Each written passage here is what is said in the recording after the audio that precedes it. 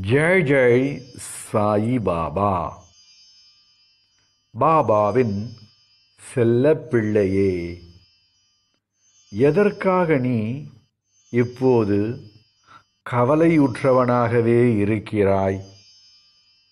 நீ கவலைப்படுவதால் ஆகப்போவது எதுவுமே இல்லை.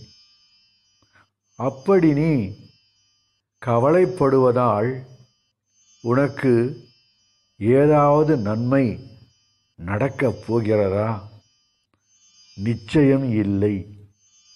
எனவே கவலையில் இருந்து வெளியே வா. அப்போதுதான் நீ இழந்த வாழ்க்கையை மீட்டு வாழ முடியும். சோதனைகள் உனக்கு என்ன புதிதா?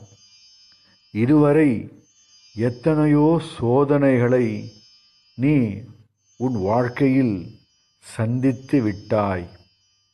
அத்தனையும் எதிர்கொண்டுதானே? பாபாவின் ஆசீர்வாதத்தால் நீ வெற்றி பெற்று வெளியே வந்து இருக்கிறாய்.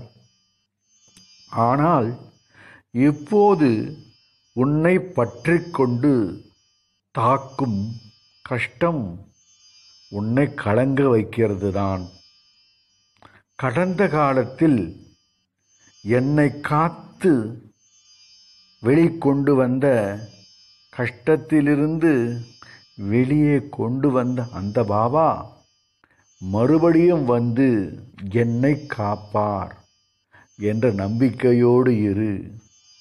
இது என்ன? இதைவிட எந்த கஷ்டம் வந்தாலும் நான் தாங்கிக் கொள்வேன் எதிர்கொள்வேன் எதிர்கொண்டு போராடுவேன். பாபா என் பக்க துணையாய் இருப்பார். என துணிவோடு இரு. துணிவே துணை. பாபா இருக்கிறார். அதுவே எனக்கு பெரும் துணை.